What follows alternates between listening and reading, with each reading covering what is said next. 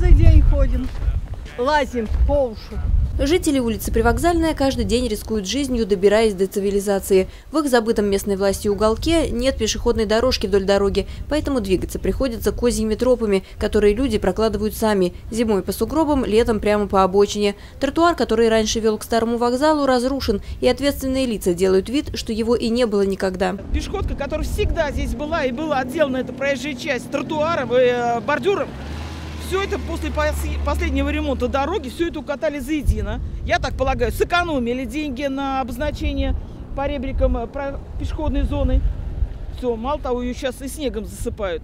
Понятно, нет денег на восстановление. Могут люди уже не первые десятилетия ждут ну хотя бы снег убирать и обеспечить пешую доступность, я вообще не могу понять, почему ни с этой, ни с этой стороны людям негде ходить.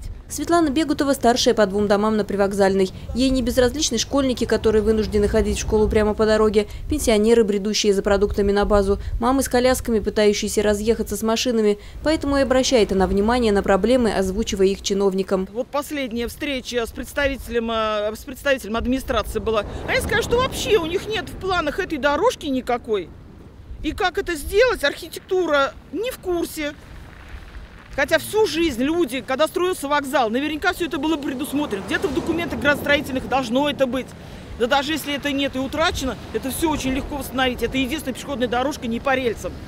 Рельсы, проезжая автомобильная, пешеходная. Все. Тут нет других вариантов, здесь и больше нигде ничего никак не обойдешь. Чтобы откреститься от назойливой активистки, чиновники и ответственные лица даже что-то делают, но результаты их работы не приносят. Вот, к примеру, попытались отгородить пешеходную зону в одном месте от проезжей части, поставили бетонные блоки, но сами же засыпали их снегом, а теперь не знают, где они. В итоге почистить снежные завалы невозможно. Я и раньше об этом писала. Но, по крайней мере, раньше это объясняла, что не было э, денег. Сейчас централизованные деньги выделяются на пешеходную зону, на проезжую часть. Почему не поучаствовать? Не могу объяснить. Зачем бросили эти блоки на, на пешеходную зону, опять не могу понять. Под зиму, под зиму.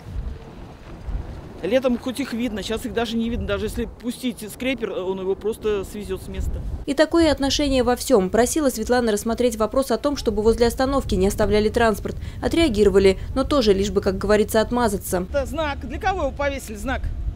Чтобы только отмахаться от моих просьб, чтобы обеспечили порядок на проезжей части – машины, которые заезжают якобы на прилегающую территорию, они его даже не видят и не знают о том, что там остановка запрещена.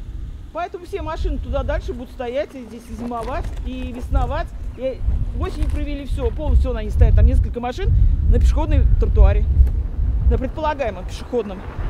Остановка то же самое, впритык машины, к остановке не подойти ни с какой стороны людям просто негде даже ждать. Они ожидают все это на проезжей части автобуса. Остановки в сугробах – это тоже боль местных жителей.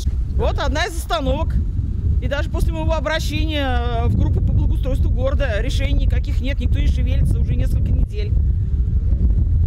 Светлана Бегутова получила много ответов и обещаний по поводу организации пешеходной дорожки. И вот недавно получила на очередное обращение еще один ответ, который удивил ее до глубины души. Господин Соловьев считает, что именно здесь вот вся дорога хорошая, и только хвостика не хватает. Не хватает, Александр Александрович. Всей дороги у нас здесь не хватает. И очень жаль, что вы не приехали и воочию не посмотрели. Ну вот и последний промежуток этой пешеходной якобы дороги.